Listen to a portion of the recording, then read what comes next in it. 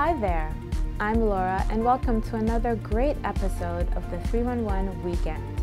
As you know, we're your guide to New York City sponsored events and services happening in the next few days. Before we get to those events, we all know that winter isn't over, and neither is the Home Energy Assistance Program, called HEAP for short. If you are having trouble paying for heat, heating equipment, or repairs, you may be eligible. Click the link to find out. Alright, so let's see what cool stuff is happening this weekend. Remember, the details are at the on-screen link. To begin, we have a three-fer. That's right, three awesome events.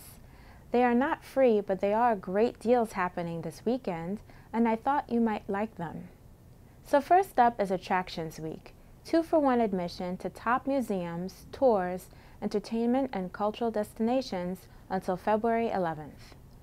Next is Broadway Week, which I've mentioned before, but ends this weekend. It's two-for-one tickets to lots of great shows.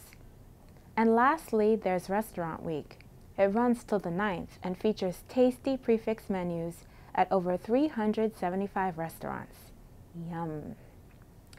Second, on Sunday, why not join New York City Parks in Harlem for a celebration of girls in sports, featuring kayaking, water aerobics, and water basketball.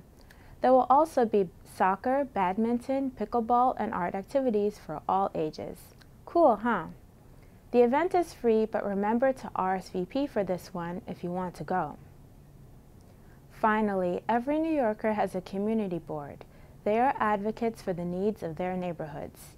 They handle zoning, traffic, housing, and quality of life concerns. And you have a say in what they do. If you want to make change in your neighborhood, that's where you can start. Well, that's a wrap. Thanks for joining us, and we'll see you next weekend.